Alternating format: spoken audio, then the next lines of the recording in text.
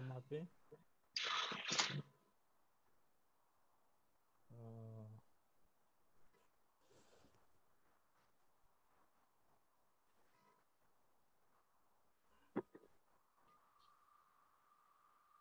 um, I'm unable to switch on the video.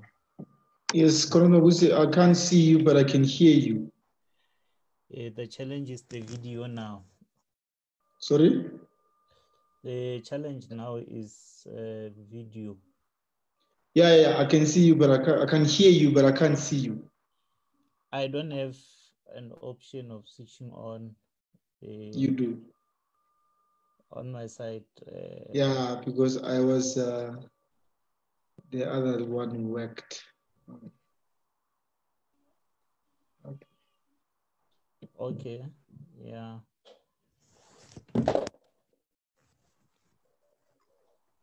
There we go. We have succeeded. Yes. How are yes, you? we have. I'm fine, yourself? I'm very well. Uh, Wonderful. Um, we we have started actually. We are live on we are live on our social media pages. okay. Um, so welcome everybody to another episode of our webinar. Um, today we have with us Comrade Mabuse Mpe. Um, he is the national chairperson of the Young Communist League of South Africa in uh, yeah, in South Africa. um, Comrade Mabuse Mpe, um, you're fine. Are you okay? Can you hear me? It seems there's a little bit of a challenge.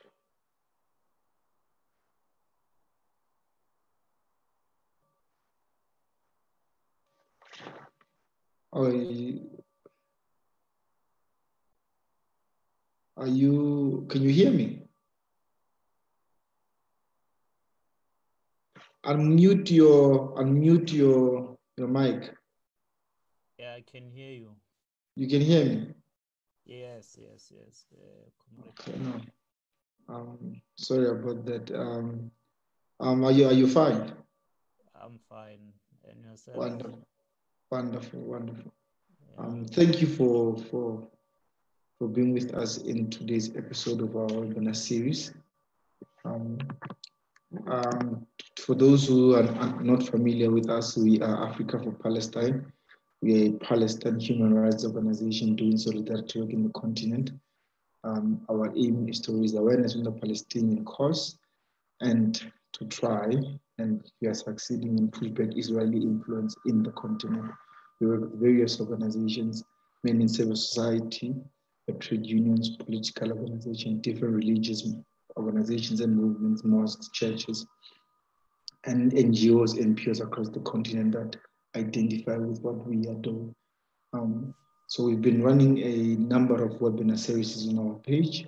If you go to the video section of our page, there's a number of live videos that have been saved on the video section of our webinar series that we do in and around the question of Palestine and internationalism. Uh, today we are joined, like I said, by Mawusi Mpe, who's with the Young Communist League of South Africa. Um, Mawusi, um, are you with us?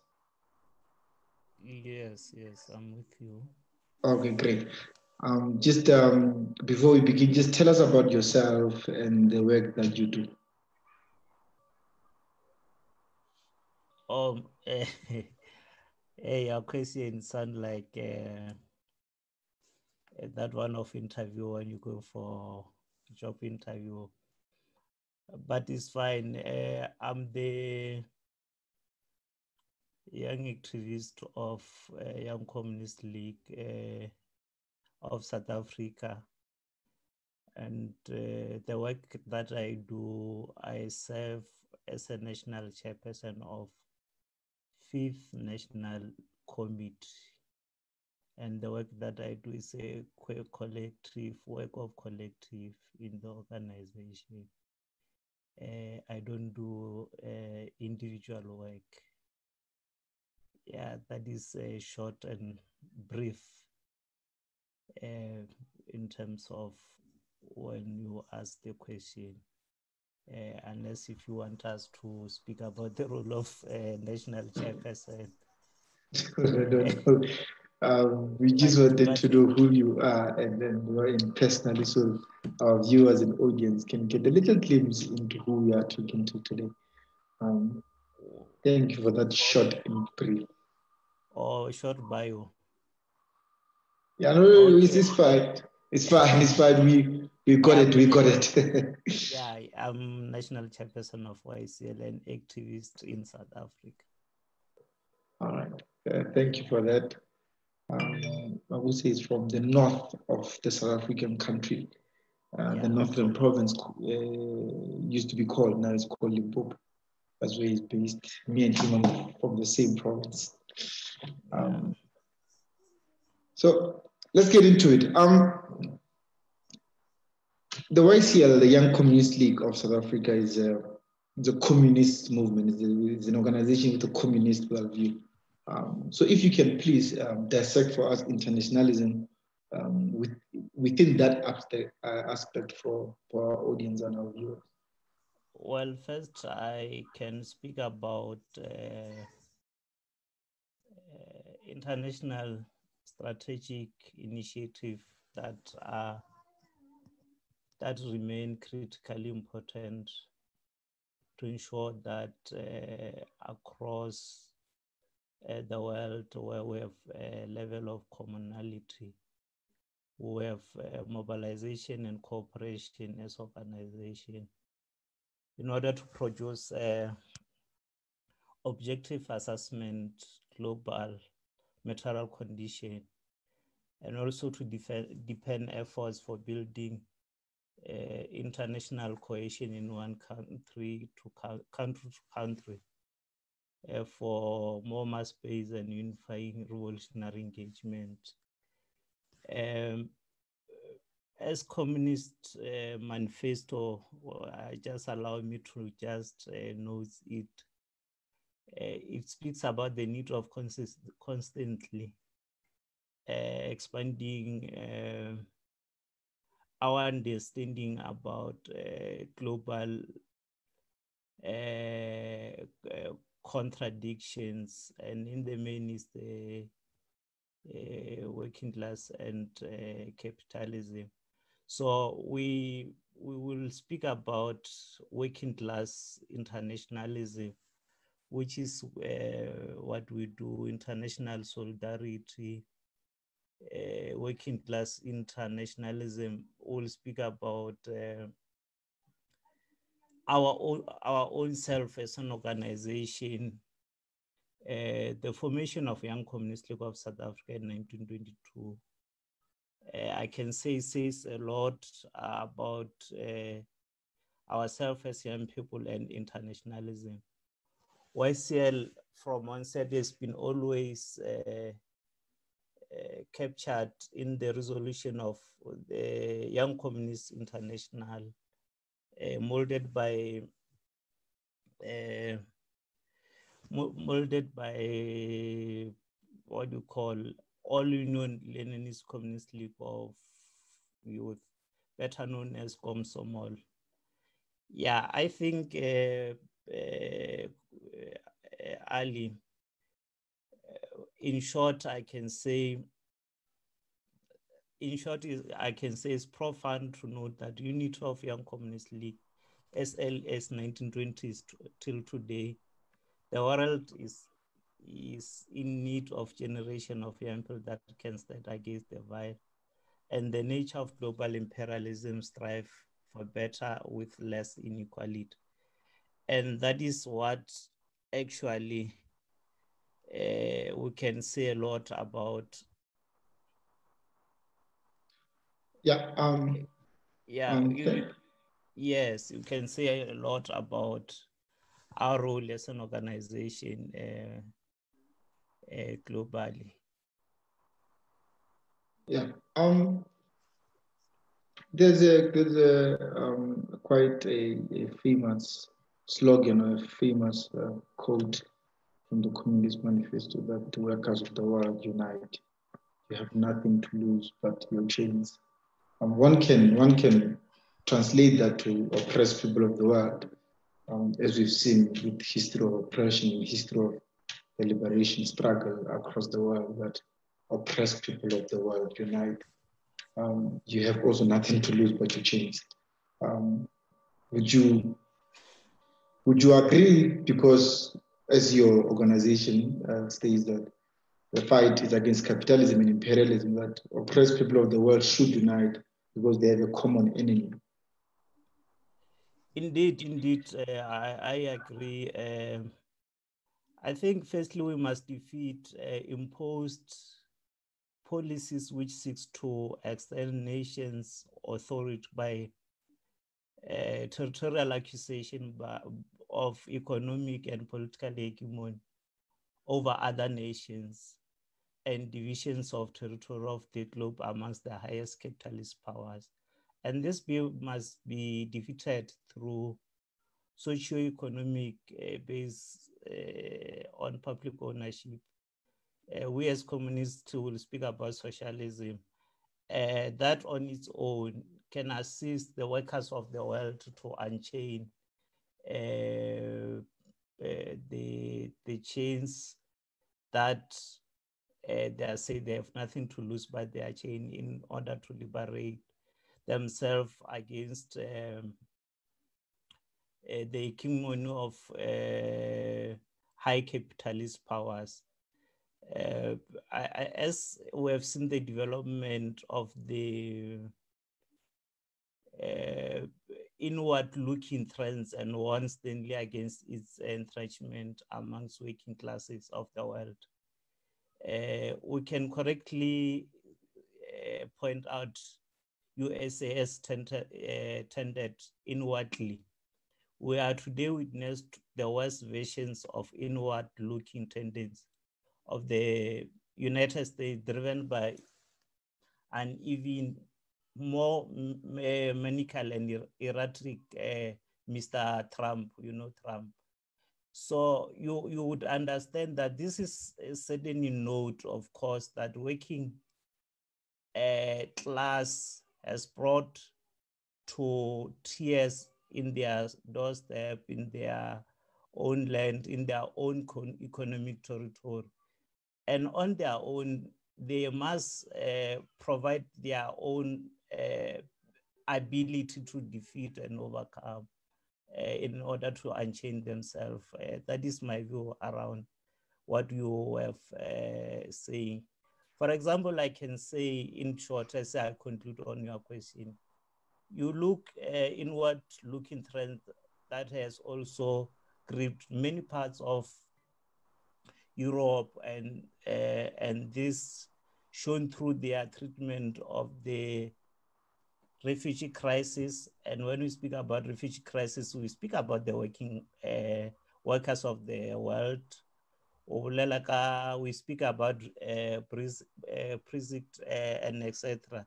They have used this um, uh, challenge faced by the working people and the poor as excuses uh, to fend off uh, immigrants spilling out of conflicts in Africa, in Persia, in the Arab world. And this reminds me the argument of uh, Comrade uh, Fidel Castro, uh, where he spoke about that we we ought to build uh, around our world a, a, strong national sentiment that is not uh, in the exclusionary way of excluding the working class and the workers of the world. And our understanding is that the world has to develop in a internationalist sentiments uh, because we wouldn't be internationalist uh, or possess a doctrine of worldwide solidarity if we begin to blame other nations. And that is uh, my view that the workers of the world must unite. speaking of uh, workers of the world uniting and, and, and the fight against imperialism, the common enemy, you, we, we are seeing a trend of uniting bloc, a global imperialist right-wing bloc that is uniting in its gender. Um, are we are we seeing a left uniting, or are we seeing the disintegration of um, the left global, especially in the global south? Uh, firstly, I I have I have observed that uh, there is post international integrate integration and with limited human connectivity, interchange of world views, like ideas of interdependence that represent a major factor in globalization. So the lessons I, I learned on the contemporary revolutionary theory and practice, as well as very lessons of revolutionary internationalism, which is today a subject matter. Uh, for for the purpose of our engagement, uh, uh, Comrade Ali, due to time constraint, I have I've looked on a specific. You'll pardon me, on a specific to answer your question on a specific chapter, which is titled "Cuba and New Liberal Globalization." Which I think is important to note its work, uh, is the reference to the breed of revolutionaries that have, in the contemporary period, developed uh, alternative perspective on uh, globalization, uh, which establishing thus alternative globalization movement as Comrade Castro and uh, Ronet mention something uh, men on this platform may be familiar with uh, those who are watching now that let me just quote a bit where I remember uh, that we a new generation of rebels that is what comrade uh, uh, Castro uh, spoke about. And I want to respond to what you you are speaking about about the global right uh, united. I think are the right wing are united on uh, false uh, uh, uh false concrete analysis of uh, material conditions of society, but they analyze what is in their favorable condition uh, because they, they are economies and their situation, their economic and political territories are shaking, uh, even given the current condition. And in, in that uh, uh, conditions, as they are, they are trembling, they're trying to employ new methods, which I think the working class also the the, the left uh, axis is also uh, united in terms of uh, in order to defeat and uh, conquer uh, the lords of the world. That's why now they are trembling because the conditions are not uh, the same. That's why they, they are having tactics of trying to do a reconfiguration, uh, particularly on the, uh, the, the growth, the economic growth and political path. Firstly, on economic path, firstly on dislocation of dislocation of working class power uh, so, but unfortunately, is ourselves as a working class that we must uh, uh, win that uh, uh, that, struggle as a force of a new rebels, as our leaders explain it. But I think the task, lastly, I think the task in the hands of ourselves as revolutionary is to continue to expose the weaknesses in the development of capitalism and configure the means at the global disposal, at least to end or subvert new liberal policies that have shackled most of our countries and also arresting the potential of individual and uh, collective uh, youth. Yeah, that is uh, my input around uh, your question. Um, thanks for that. We we we've, we've witnessed um, the, the the really growing unity of, of the global right, especially in Latin America, and, and let's use Latin America as a point of reference uh, on this particular point. Um, that this we've seen um, the collapse of a worker-controlled government in Brazil, um, the offensive on Comrade Lula. We we've seen the United States um, economic terrorism and offensive in Venezuela that is continuing even now, with the help, of course, of neighboring countries. We've seen um, the coup in Bolivia, um, and we have seen the right-wing government in Chile in, with the uprisings and protests. Is there a, legitimate response to this from the from the global left per se? Are, are we responding to this particular um, unity and resurgence of right-wing unity adequately? Of course, I think we we we do. Firstly, we must assess that uh, what is the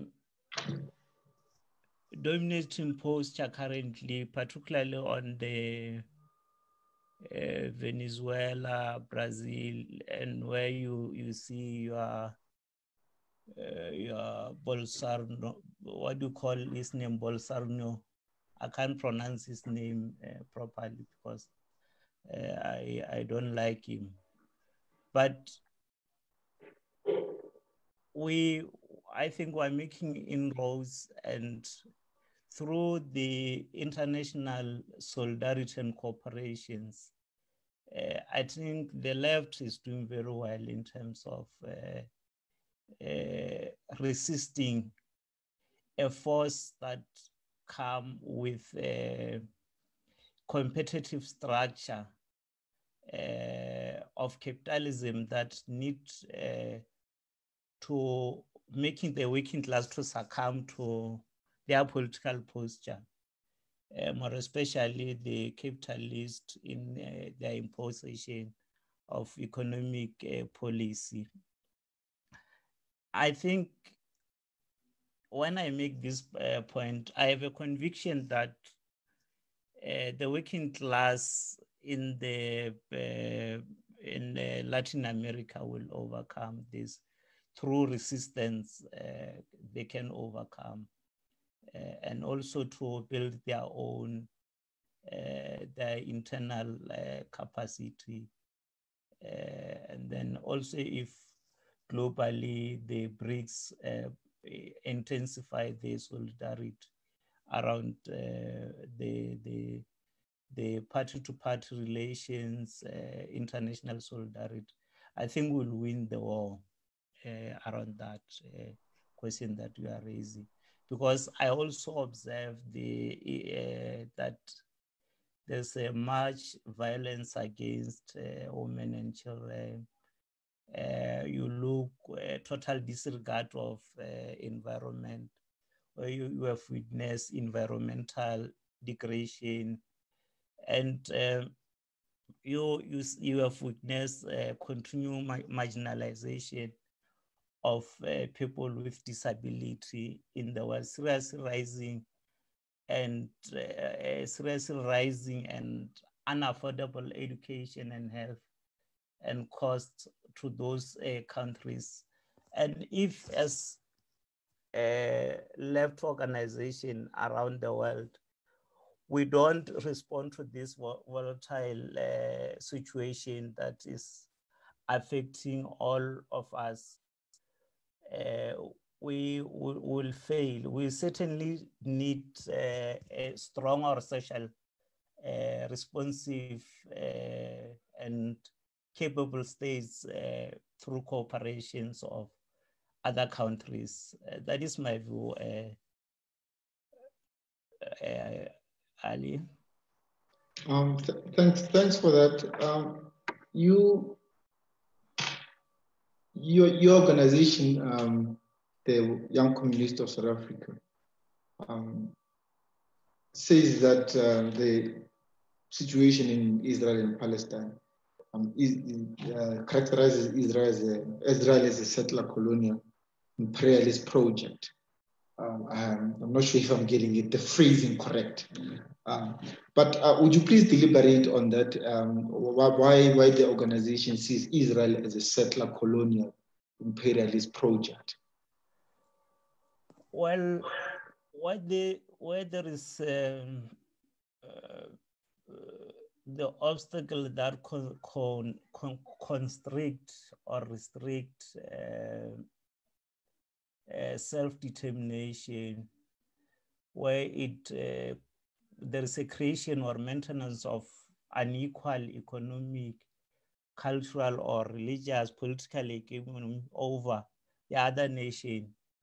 Or the other thing that I can say, monopoly over Palestine. Uh, uh, that has disrupted uh, self-determination. Uh, if you have uh, followed uh, the news, Palestinian Authority after announcement by President uh, Mahmoud Abbas began implementing plans to end all agreements and understanding with Israel and uh, United States, including those on security as a result of Israel's intent to annex parts of West Bank. As Young Communist League of South Africa, uh, we made a stance, I think, at our 98th anniversary that we full support the progressive move by Palestinian Authority against U.S. Uh, Israel imperialism. Both Israel and United States should be condemned and should be isolated uh, from the rest of the world for disrespecting peace agreements, especially OSLO peace accord. Basically, the accords uh, called for the withdrawal of Israel forces from Gaza Strip, West Bank, and affirm uh, Palestinian uh, right to self-government and creation of a Palestinian uh, interim self-governing um, authority I think uh, Palestine has a right to self-determination and uh, sovereignty. And this uh, deliberate uh, imperialist onslaught on Palestine is anti-global peace and uh, far more worse uh, than colonial character. remember also South Africa we we we we, we gauge uh, we actually equate uh, apartheid South Africa uh, with apartheid Israel. Hence our stance as an internationalist organization around the issue. And we can allow a, a country like Palestine being suffocated uh, by uh, Israel, where there are illegal occupations, killings of people. This is against humanity. And it's a very painful situation that as internationalist organization that promote uh, humanitarian struggles uh, for the total liberation and uh, self-determination of our people is something that as an organization we stand for and we believe that actually Palestine and uh, Swaziland, uh, Western Sahara, uh, Sahrawi people. These are the uh, struggles that unequivocally we must maintain ourselves, continue to uh, fight uh, those struggles. Because uh, if we don't do so, we are we if we remain silent one of the challenges is that uh, the future generation that must take over will inherit nothing will uh, not have their uh, they will lose their culture they will lose their self-determination and we don't wish it to any country. So that is uh, our view around the issue. Uh, uh, yeah, um, uh, you, you, your organization has been extremely, um, very, very active in the solidarity organization in South Africa. For for viewers and audience who are not aware, um, the Young Communist League and the South African Communist Party have been at the forefront of solidarity campaigns with Palestine Pacific in this country for years now, with uh, very, very practical campaigns and very, very practical actions um, towards Palestinians, including participating um, in the BDS campaign, the Boycott, Divestment and Sanctions campaign. Um, one of the campaigns that uh, the YCL has been involved in for, for a couple of years now is, is for the South African government to expel the Israeli ambassador in South Africa. Um, is it still the campaign? Um, and uh, why, why, why that particular campaign specifically? Uh, well, like I said earlier, uh, we are still on the campaign and we still maintain it. Uh, where there is a, a crime against humanity were intolerable, where there is a, a deliberate act of uh, uh, denying people to for self-determination where you deny a person a basic right to life as an organization and a caring organization that is internationalist organization we will continue to wage and sustain our campaigns because uh, our silence it will uh, mean that we are making endorsement uh, to the crime against humanity.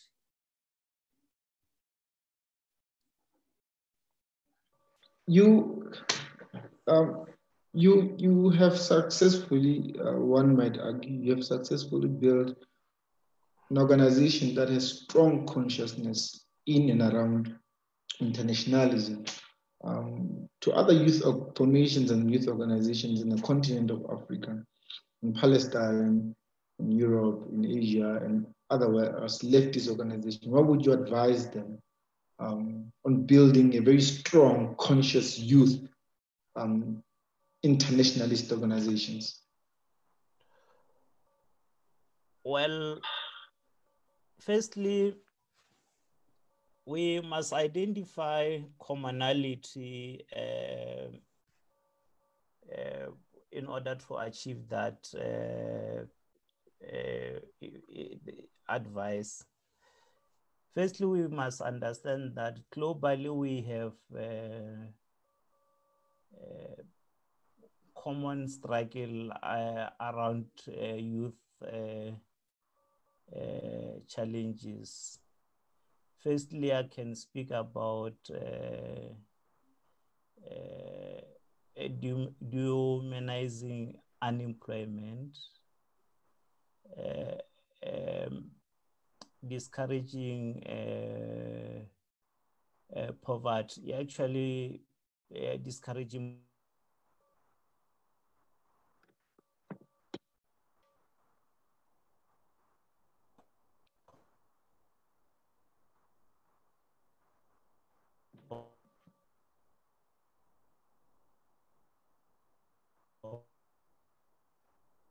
nationalist uh, organization must uh, focus on. The second thing that I, I want to speak on is the common working class struggle, even the common working class struggle that all international organizations are, are faced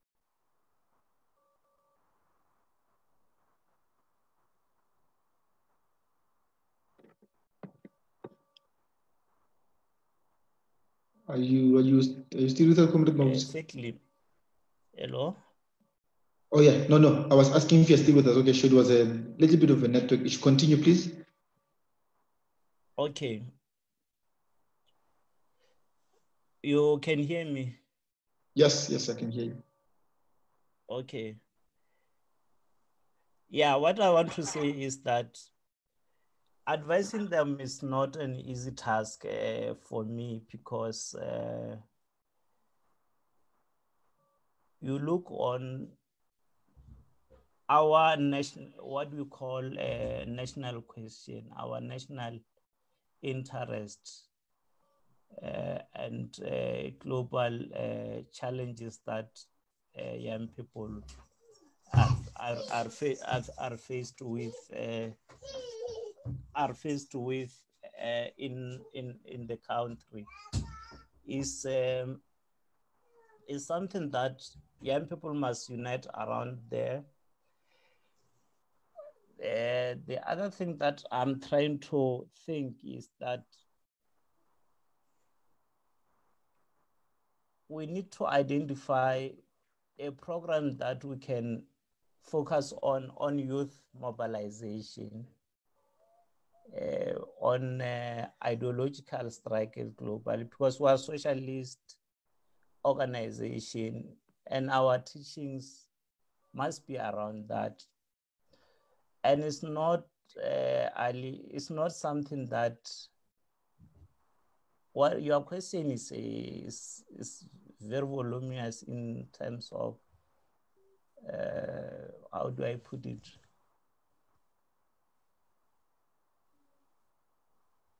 Um, in terms of looking at uh, task at hand of young people global,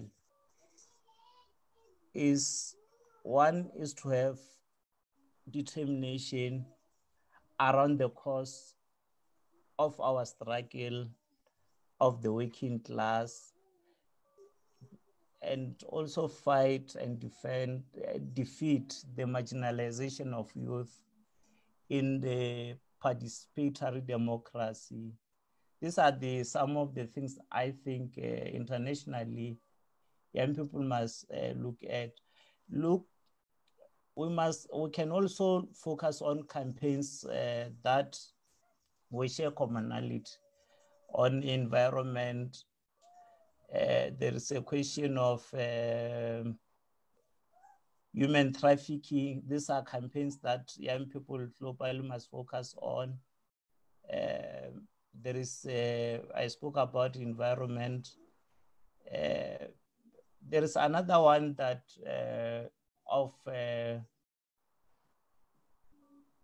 communication, which is uh, you say is ICT, the, the access of uh, Internet of Things, which is still uh, a challenge. And I think is one of the things also we can actually do a mobilization and cooperations uh, around programs uh, as internationalist organizations uh, because such programs will assist us to to, to win uh, the victory. For example, I spoke about human trafficking, with the, which is a most, uh, if you look in African continent and also in Latin America, is still a problem.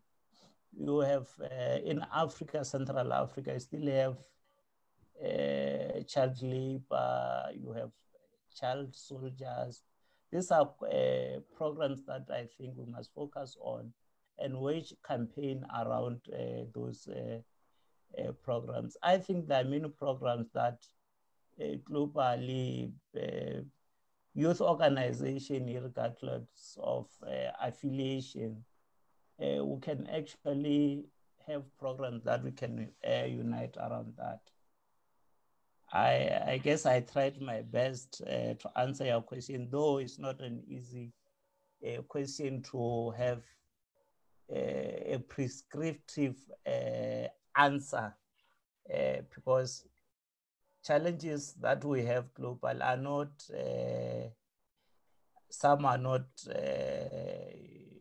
universal, some are universal, but we need to focus on those youth uh, issues that are universal, which I mentioned, and I think I've not mentioned them all, uh, but I tried my best uh, to respond to your question. Um, thank you, thank you, Comrade Mabuse. I, think those are very important uh, um, points that organizations globally, um, youth organizations that identify with internationalism and international solidarity should should be pre- pre- preoccupied with um, the issue of child labor in Asia and Africa. I think it's very important. We live in a global community, and like the saying says, uh, no man is an island. Uh, so, thank you very much uh, for accepting our invitation, and thank you very much for being with us today. Yeah, thanks for your time uh, and thanks uh, for the invitation. YCL really appreciate the invites. Uh, we should all try our best time to time to come and interact uh, uh, with you just to share views. Uh, our views are not be all and all. It's views that is uh, are constructed and are work in progress for engagements. And uh, surely will uh, pen something that is very constructive in response to the the topic that you have given us. I think uh, will ensure that you get uh, uh, that uh, paper uh, so that we indulge also for purpose of distribution amongst uh, uh, members and the society at large. Thank you very much. Thank you, Goodbye. Okay.